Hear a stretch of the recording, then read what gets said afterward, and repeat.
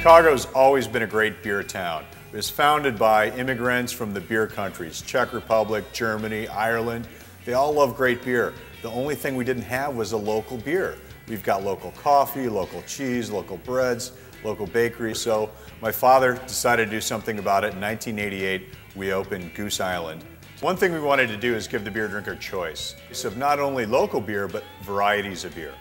We wanted to give them ales and lagers and stouts and porters and all kinds of different beers because we knew the beer drinker didn't want to drink the same beer every day. It was an evolving beer drinker and they wanted different flavors, different choices. My father had done a lot of traveling over in England and what he really loved was the pub culture in England. And every pub kind of had their local ale or bitter. And that's one thing we wanted to have right away. So our very first beer was Honkers Ale. It's a very traditional English style bitter, very drinkable, very balanced. And that really was where we started off. We wanted to have that pub atmosphere, that public house, that third place where you could go besides home and work and really, you know, just settle down and relax and have a good fresh beer.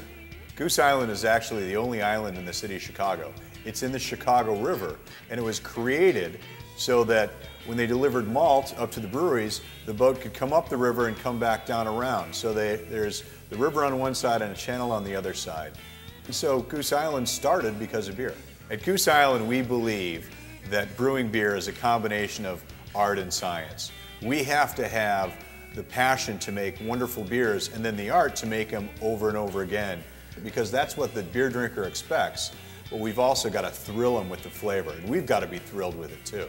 The beer drinker expects more from the beer, and they expect it not only to refresh them, but have great flavor and also match up with food. And that's a new occasion, is the dining occasion, taking beer and pairing it up with food and adding value to the meal by giving a great beer that enhances the food. Goose Island's here to be part of the dining experience. We not only make wonderful beers like Matilda, that pair up with a sophisticated seafood entree, but also Honkers Ale, which will go great with a burger and fries and enhance the meal, make it better for the customer so they enjoy it more and everybody wins.